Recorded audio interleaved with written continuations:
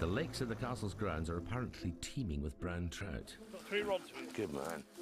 But this place is alive with grisly tales from the past. We can take that.